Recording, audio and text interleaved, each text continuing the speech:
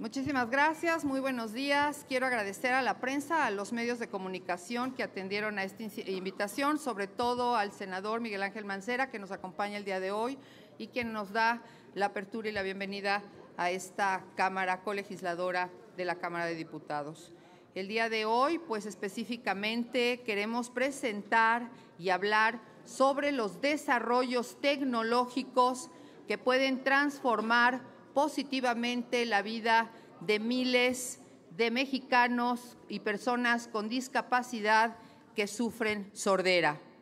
Estos desarrollos tecnológicos y de inteligencia artificial que requieren del respaldo de la sociedad y del gobierno para cumplir con este noble objetivo. Como vemos en este momento, tenemos a varios jóvenes que nos acompañan el día de hoy que han desarrollado esta tecnología y recuerden que nosotros en la Cámara de Diputados hemos sido unos promotores fervientes de la lengua de señas mexicana, ofreciendo siete cursos de lengua de señas mexicana. Hemos logrado casi 400 personas que han tomado esta capacitación y que se han formado ya en la lengua y en la traducción e interpretación de esta lengua de señas mexicana. Esta rueda de prensa es para pedirles que hagan eco de la importancia de la innovación para la inclusión de las personas con discapacidad, con apoyos de reducción de barreras que limitan su inclusión y del talento que tenemos con estos jóvenes mexicanos que están desarrollando esta tecnología de inteligencia artificial, donde se verá por primera vez una técnica de inclusión y una ayuda técnica novedosa para el grupo mucho más etario, el grupo más alejado de la inclusión, recordando que nosotros somos la 65 legislatura, la legislatura de la inclusión, y antes de concluir este periodo, dar con claridad que no nada más fue un membrete, sino que estamos haciendo diferentes propuestas para que este grupo etario de sordos sea integrado a las comunidades. Asimismo, como lo indica la ley, para que estas personas, que es su lengua original y su lengua madre, la lengua de señas mexicana, puedan ser incluidos en los hospitales, en las escuelas y en todo lo que tiene que ver con la obligatoriedad de sus juicios. Invité a esta conferencia a un grupo de trabajo multidisciplinario que está desarrollando esta aplicación y que se instala en las tabletas o en los iPads o en los teléfonos celulares y enseguida les daremos la palabra para conocer esta propuesta. Esta aplicación está en desarrollo y como sabemos que la inteligencia artificial se va alimentando de sí misma, pronto tendremos mucho mayor efectividad en la utilización de este aparato. Es importante que sepamos que necesitamos estos instrumentos en hospitales, ministerios públicos, escuelas y todo aquello que tenga que ver con una inclusión veraz y efectiva para este grupo de personas con discapacidad. En este punto es muy importante enfatizar que efectivamente existen obligaciones del Estado a favor de la accesibilidad e inclusión de las personas con discapacidad, con poco más de dos y medio millones de personas sordas en esta República Mexicana. Y prestar servicio en lengua de señas eh, como un derecho lingüístico para los más de 7 millones de personas usuarias de la señalética de lengua de señas mexicana que son cotidianos y que hay que dejar muy en claro, no conocen el español. Nos es muy complicado hacer una interpretación y una traducción de las personas que utilizan la lengua de señas mexicana porque su lengua original no es el español, sino es la lengua de señas mexicana y quienes tenemos como intérpretes para estas personas generalmente son sus hijos o sus familiares que ya aprendieron el español y que obtuvieron su lengua original en la lengua de señas mexicana. Así, la tecnología permitirá tener un dispositivo en los espacios públicos para brindar el servicio a un costo menor, pluralizarlo y hacerlo democrático. Presentaremos a este grupo multidisciplinario donde se encuentran especialistas, la comunidad en general de los sordos que ha apoyado la señalética, asimismo los jóvenes que han desarrollado esta tecnología y muchos de los que nos hemos abocado a insistir en promover el uso de la lengua de señas, como muchos de los empresarios que están adjuntándose para que esto sea una realidad. Muchísimas gracias y cedemos la palabra a nuestros jóvenes desarrolladores. Muy buenos días, mi nombre es Diego Ayala, les vamos a presentar el producto final. Este producto final se va a instalar tanto en escuelas como en oficinas del país. Va a constar con varios, varias etapas dependiendo de las necesidades. Vamos a contar con un traductor que gracias a la inteligencia artificial va a poder detectar las señas y las va a traducir a texto para que las personas oyentes tengamos una respuesta. En el segundo paso vamos a contar con un avatar.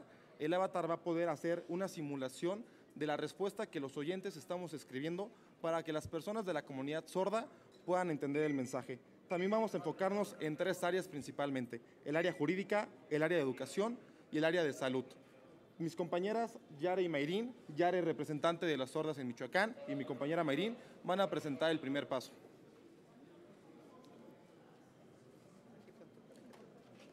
Hola, mi nombre es Mayrín y junto a mi compañera Yareni Pérez de la comunidad sorda vamos a presentar vamos a presentar el traductor. El traductor incluye una, una cámara la cual este, señalará las señas que haga mi compañera. Empezaremos con la primera traducción.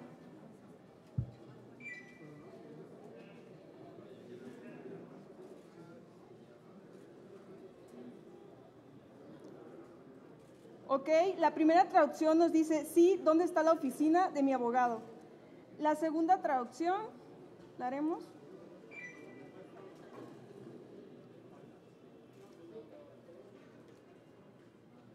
La segunda nos dice, muchas gracias, tenga buen día.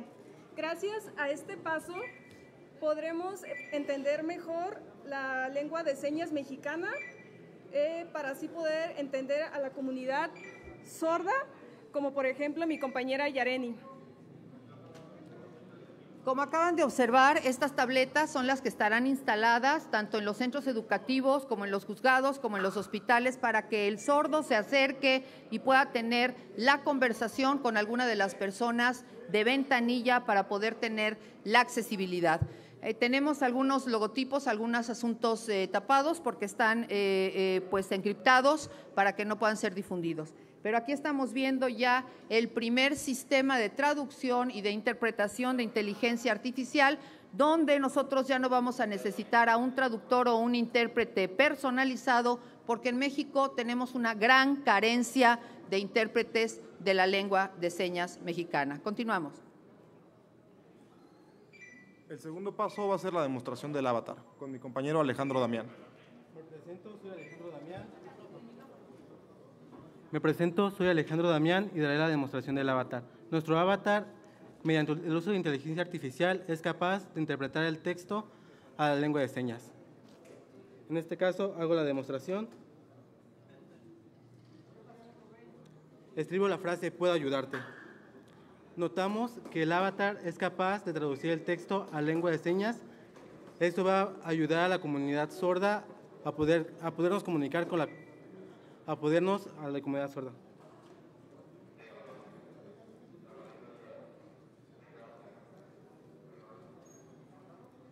Tenemos otra demostración que es a la derecha. Esto permite dar indicaciones, lo cual va a permitir que en sectores como el sector educativo, sector político, sector jurídico, podamos comunicarnos con la comunidad sorda, la comunidad oyente. Gracias. Como podemos ver, ahora tenemos un avatar que hace el servicio a la inversa para la persona que está dentro pues, de la recepción, que puede entender cuál es la seña que la comunidad sorda está haciendo. Aquí vemos también como nuestra compañera, como también tenemos en la Cámara de Diputados, algunas partes de la comunidad de sordos que están apoyando a que la traducción del avatar sea correcta. Ahora escucharemos a uno de los desarrolladores, por favor. Hola. Mi Sierra. Hola, me presento. Mi nombre es Miguel Sierra y soy el desarrollador de la aplicación y una motivación fundamental fue la inclusión de la comunidad sorda mediante la aplicación de las nuevas tecnologías. Ahora también tenemos la presentación de uno de los que hizo el procedimiento, el protocolo, la clave. Mi nombre es Cristian Ramírez y mi motivación para desarrollar esta inteligencia artificial fue la de eh, reducir la brecha de comunicación existente entre la comunidad sorda y el resto de las personas oyentes. Y por último tendremos al desarrollador del avatar que nos permite ir ya haciendo la traducción física de la lengua de señas mexicana. Por favor.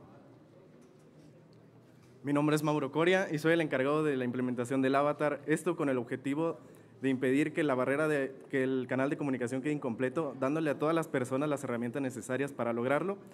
Estará en, en desarrollo con mejoras de movimiento más fluido y fiel a la realidad, aparte de personalización para que todas las personas se puedan sentir representadas.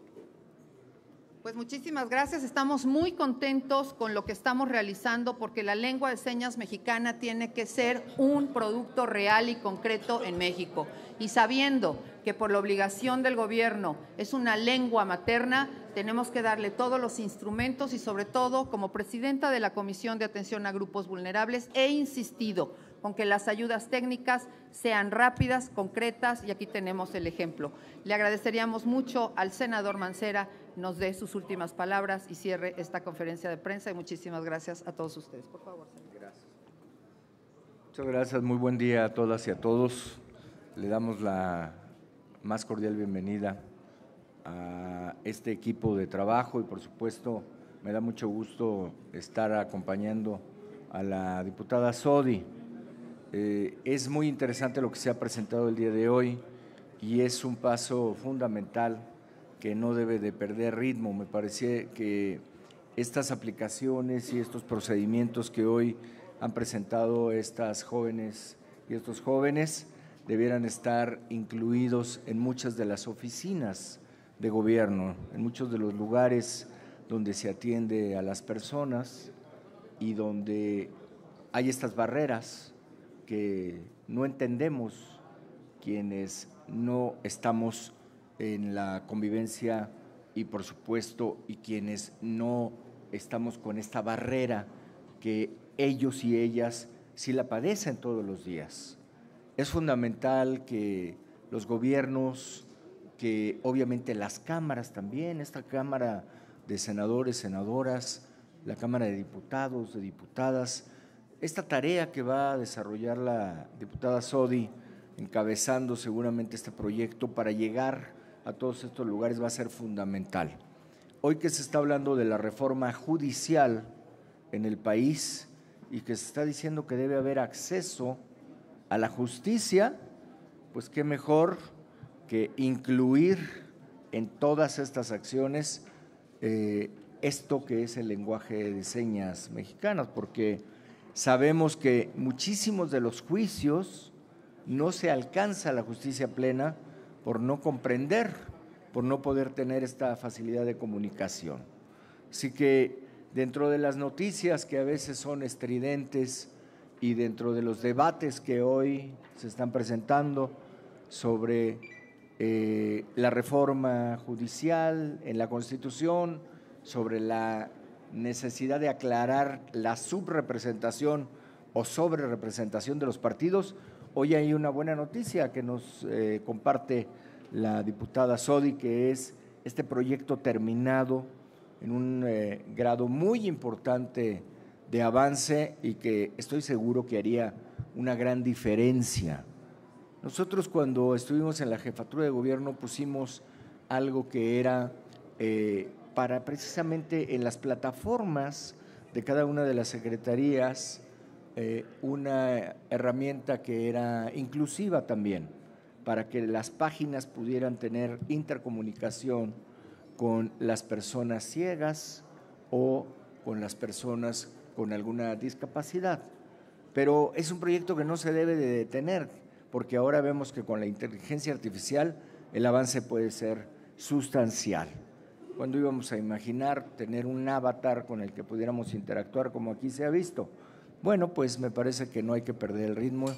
Yo le deseo mucho éxito y por supuesto eh, le refrendamos todo nuestro apoyo a la diputada Sodi y a todo este equipo de trabajo para seguir haciendo la difusión de esto que es tan necesario y que muchas y muchos de quienes son hoy traductores, intérpretes del lenguaje de señas, de la lengua de señas mexicana, tienen padres, tienen madres que son sordos, que no tienen la capacidad de la comunicación como todos la tenemos y quienes están pudiendo lograr este puente de comunicación fundamental. Qué bueno que se presente esto y obviamente le deseamos mucho éxito a la diputada. Gracias. Si ustedes nos los permitieran, coordinador, diputada, jóvenes desarrolladores, tenemos preguntas de parte de los compañeros de la fuente. En primera instancia les pregunta Víctor Mayen. Buenos días a todos y a todos. Yo quisiera saber eh, de dónde son egresados, de qué institución educativa han egresado y si este proyecto contó con algún financiamiento público o ustedes tuvieron que financiarlo de manera personal.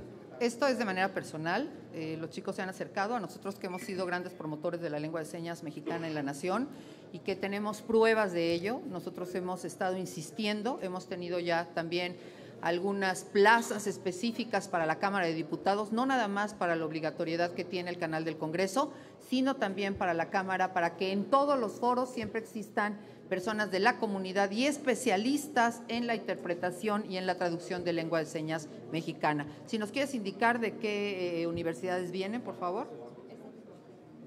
Somos estudiantes de Ingeniería en Mecatrónica en el Instituto Tecnológico de Morelia. Gracias. También, vía remota, Fernando Moctezuma de Síntesis Legislativa les pregunta, quiere preguntarles si existe ya una patente sobre esta aplicación o si se dejará de manera abierta al público. Y por otro lado, pregunta qué apoyo recibieron por parte del Senado o de alguna otra instancia gubernamental. No hay ningún apoyo eh, de instancia gubernamental. Hoy, a, razón de que yo como presidenta de la Comisión de Atención a Grupos Vulnerables estoy cerrando ya mi, mi periodo, acabo de entregar los últimos informes, pues quiero avanzar con esta propuesta. Ahora nos van a indicar hasta dónde está este, el procedimiento técnico de permisos, pero recuerden que la Cámara de Diputados, junto con la Cámara de Senadores, fue muy complicado realizar la primera consulta a las personas con discapacidad porque no había ningún tipo de tecnología. Y ahora, pues con esto, nosotros vamos también a obviar y a dar un paso avanzado a las consultas que se les van a tener que hacer a las personas con esta discapacidad, a las personas sordas. Si nos puedes indicar en, qué, en cómo van los permisos hasta este momento. Los permisos contamos con una pendiente de patente que pronto se dará una respuesta, esperemos satisfactoria, pero sin embargo ya se hizo el registro y ya es de nuestra propiedad. También este, Fernando Moctezuma de Síntesis Legislativa les pregunta específicamente al senador Mancera ¿Qué opinión le merece que Morena haya retomado sus propuestas para que sea gradual la implementación de la reforma judicial? Bueno, eh, en ese tema desde el día de ayer eh, planteamos vía redes sociales que todo lo que pueda rescatarse en esta reforma judicial va a ser importante el que se haya entendido que debe ser gradual es un avance. No puedo dejar de reconocer que es un avance. Eh, los dos puntos que se hicieron, el otro que es el relativo a que haya un comité de evaluación de las capacidades de quienes van a participar en esta posible selección de juzgadoras y juzgadores, es otro avance. Son dos puntos que habíamos dejado planteados y que dejamos por escrito. Uno, la gradualidad y dos, la capacitación y capacidad técnica jurídica de las personas que pudieran competir en esta tarea de ser juzgadoras y juzgadores. Todavía hay más puntos como aclarar el tema de la reelección, si es que va a haber reelección, por cuánto tiempo y por cuántas veces y por supuesto también lo que corresponde a precisar las sanciones en lo relativo al Consejo de la Judicatura, entre otros eh, temas pendientes.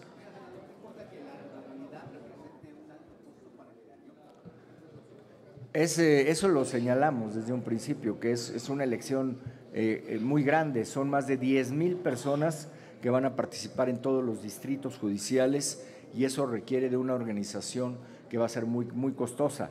Se dice que se utilicen los fondos de los fideicomisos, pero hay que recordar que también hay suspensiones que no se pueden eh, trastocar. Entonces, al dar gradualidad, me parece que con eso de la gradualidad, si se aplica correctamente, van a evitar el costo. Porque si das gradualidad, quiere decir que no va a ser en bloque. Ya no serían las 10 mil personas, sino probablemente esa gradualidad atienda a las vacantes de plazas.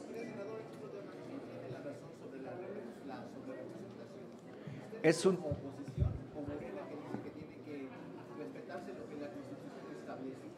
es un tema de interpretación que atiende a entender o a la coalición como partido político o a la coalición como un ente diferente, diferenciado.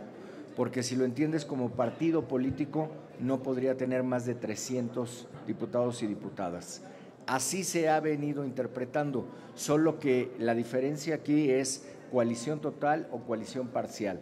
Como hubo coalición parcial, no lo están entendiendo como un partido, sino lo están dejando a una interpretación distinta en la cual cada uno de los agrupados en la coalición parcial puede tener su porcentaje propio y no se entiende como un solo bloque. Es lo que sucede ahora mismo. Exactamente. Yo creo que debería ser con el espíritu de la Constitución que ha venido interpretando que aun cuando son coaliciones, sean parciales o sean totales, debe entenderse como partido, esa fuerza política. La última pregunta, y regresando al tema de esta conferencia, también la realizan vía remota. A la chica que hace las señas le preguntan cómo están alimentando la inteligencia artificial con la lengua de señas.